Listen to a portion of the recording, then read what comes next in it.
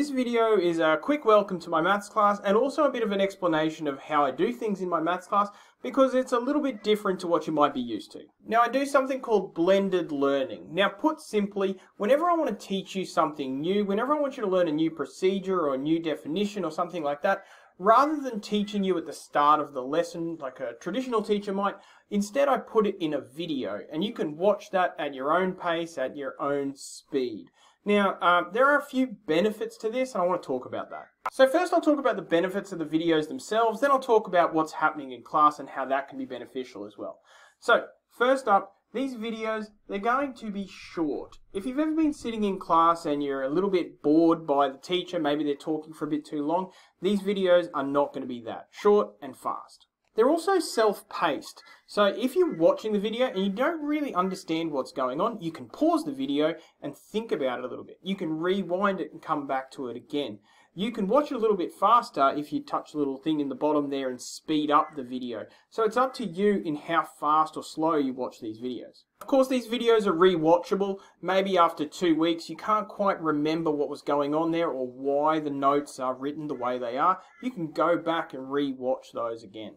And they're also shareable. So if you've learnt something and you're getting some help from, say, mum or dad at home, and they're not sure what's happening either, you can watch the video with them. If you've got a tutor, you can share the video with the tutor so the tutor can see, oh, I can see the method they're using, I can show you that method instead of this other method. So that's the benefits of the videos themselves. What about the benefits in class? Well, first up, the class looks different. I don't start every lesson by standing up the front and telling you the thing that you need to learn. You've already learnt the thing that you need to learn. Now you need to practice. So you're going to have more time to practice. This is a really big benefit because maths is not a spectator sport. In order to get good at it, you need to practice it. Now, you're going to get more individual help. Because I'm not doing a bunch of whole class instruction, that means that I can spend a lot of the lesson walking around and helping individuals that want help. When you want the help, you can get it. That's one of the big benefits here. We'll also be able to have more discussions and more meaningful discussions. Small pockets of students and myself talking about the maths, figuring out how to work on some of those higher level questions where we might get stuck. So those are just some of the benefits of doing things this way. I've been doing it for a number of years now and there are a lot more that you'll learn about as you work in the class. But now we need to talk about what you need to do to succeed in a class that looks like this. Now, same as the last section, first we'll cover the videos. Now, when you're watching a video, there's a few things that you need to do. The most important of which is to take notes. When you're watching a video, you really want to write down everything that I write down, plus anything else you think, oh, that was interesting, that's really important what he said there. Take notes the same way that you would take notes in anyone else's class. The videos are relatively short. For that short amount of time, focus. Cut all distractions out. Just you and that video, writing your notes, paying attention until it's finished.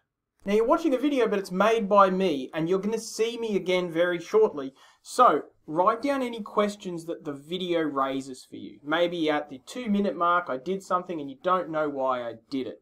Write down a question so that the next time you see me, you walk into class and you say, I've got a question about that video. Write down any questions you have.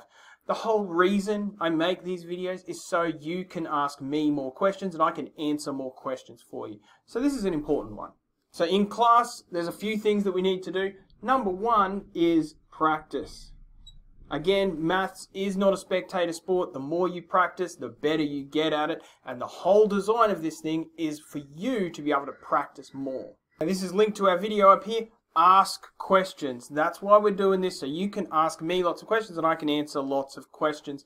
Um, it is impossible in a video to cover every single permutation of a maths question that there could possibly be ever. So you need to practice them, you need to hit the harder questions and then ask me, hey, why did I get this question wrong? Which brings us to our last point. Whenever I ask you to do questions, I'll make it very easy for you to check your work. There'll be answers nearby, and you'll be able to check those answers and say, hang on, my answer was this, that answer was this, why did that happen? And then you can ask me a question and then you can practice some more.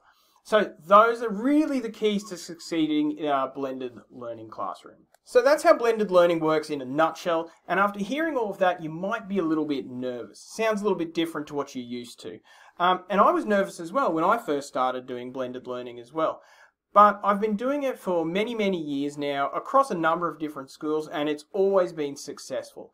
Uh, as long as you and I keep communicating and keep working together, I am confident that your maths will continue to improve and you will flourish. Uh, so I'm really looking forward to meeting you next term and getting stuck in. See you then.